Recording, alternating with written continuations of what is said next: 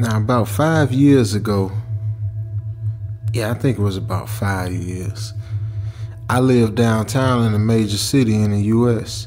Now, I always been a night person, so a lot of times I found myself bored, you know, after my roommate, who was not a night person at all, went to sleep.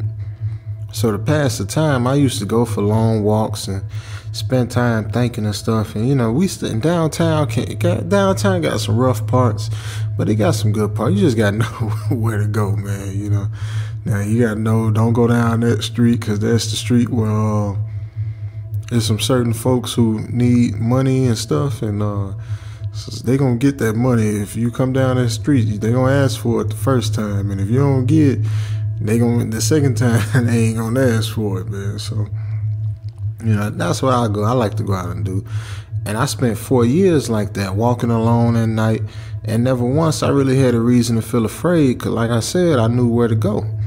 Now I always used to joke with my with my roommate that even the drug dealers in the city were nice, you know, cause um you know it's just it's just about the way you carry yourself man so you know if i did come across somebody you know, I knew I look them in the eye and I nod my head at them and they look me in the eye and that looking folk in the eye, that's how you let them know like, you know, hey, you know, you might be about it, but I'm about it too now, you know. So anyway, but all of that changed. Like just a few minutes. It only took a few minutes. It's crazy how your whole life can just change in like a few minutes, man. It was on a Wednesday it was something like one or two in the morning, and I'm walking around this park where 12 be riding around all the time.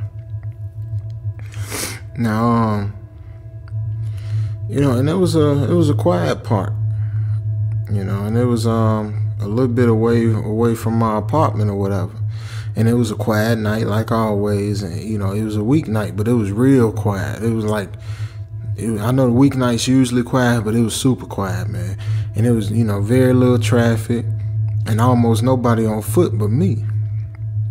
Now the park, you know, like it is most nights, was complete, completely empty or whatever. So I turned down this little short side street, little cut through or whatever, and I was gonna loop back around to my apartment, and that's when I first noticed this guy. Now at the far end of the street, on my side, I could see like the shape of a man, and he was like dancing and it was a weird dance. It was like one of them old, old school like them uh, old European king queen ballroom type dances thing, and uh, and but he finished each like uh like every little step. You know how they do that that um, that step one at a time or whatever, and it, it, every step, you know, he'd do like a a stride like towards me kind of like he was skiing or something almost. And it was like a dance walk. And he coming straight at me, man. Now, I'm thinking, you know, he probably drunk. And um, I got close to the road or whatever to give up the sidewalk so I can let him go ahead and pass by. Now, the closer he got, the more I realized like how like gracefully this guy was moving, man. And he was real tall and lanky, man, and wearing his real old type suit, man. Now he dancing closer until I could finally make out his face. Now his eyes was wide open. Like, you know, like like man, like this guy must have been off all kind of Molly or something, man, cause his eyes was wide open. I ain't never seen nobody eyes that. They had to be super dry because they was just open to the max, man. And um, and it's like, and his head was tilted back a little bit, and uh, he was looking off at the sky, really, man. And his mouth was like had this big wide cartoon type smile on it, man. Like this guy was a real life joker, man. And between the eyes and the smile, I said, man, I'm finna cross the street before this guy got any closer to me. Cause he was headed to me, but he wasn't really like uh you know, he was looking up, so I said maybe he don't see me. Let me go ahead across the street. Now I took my eyes off him across the empty street, and when I get to the other side, I look back, and boy, I stopped dead up in my tracks, man. This man had stopped dancing and was standing with one foot in the street, pointed straight at me. Now he was facing me, but he's still looking up in the sky. Still got that big crazy smile on his face. Now, I was completely I wasn't no good at this point, man. Like, you know, I I was basically like just a big big jelly man at this point, man. I I dang that fell when I seen that man. But I kept my eyes up on him though. And he ain't moved. Now once I had put about half a block between us, you know, I turned away from him for a moment to watch the sidewalk in front of me, and the street and the sidewalk ahead of me was completely empty. Now I'm still jacked up, and I looked back to where he had been standing and seeing he was gone. Now, for a quick little second, I felt like relief, man. I felt, you know, just relief, man. And then I noticed him again. He had crossed the street, and now he was like slightly like crouched down just a little bit. And I could tell for sure, you know, like I couldn't really tell, you know, because he was um kind of far away and you know it's nighttime, so it's shadows and stuff. But I was sure he was facing me though. Now I looked away from him for no more than 10 seconds. So it was clear, you know, that this guy had moved super fast, man. Now I was shocked, so I stood there for a little bit and I'm just staring at him. Then he started moving towards me. He took big, crazy, ex- over exaggerated tiptoe steps, man, like a big cartoon character sneaking up on somebody. Except he was moving quick, man, like, you know, like this man, he was stroking it, man. Now at this point, you know, I like to say I ran away or pulled out some pepper spray or the cell phone or anything at all like that, but I didn't.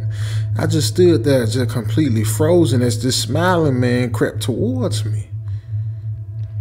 And then he stopped again about a car length away from me, still smiling that smile and still looking to the sky. And at this point, I'm like, I can't run because I obviously I run this guy the way he moving. So I figure, you know, we just finna. I guess we just gonna have. I'm gonna have to go and deal with this. Uh, I'm gonna have to go ahead and throw down with him and just hope he don't kill me, man. And when I finally found my voice, the first thing came to my mind, I just said it, man. And I meant to ask him, like, what do you want? In a real angry type, you know, way, but only thing that came out was what? You know, real stupid like that. What? And then after what felt like forever, he turned around real slow and started dancing, walking away, just like that.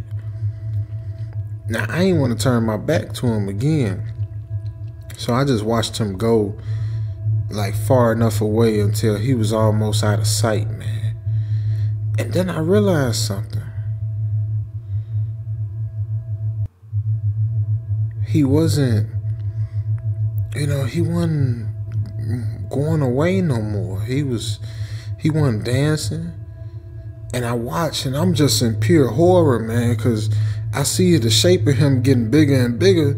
And I realize he coming back. But this time, that man was moving, boy, some Usain Bolt type stuff, man.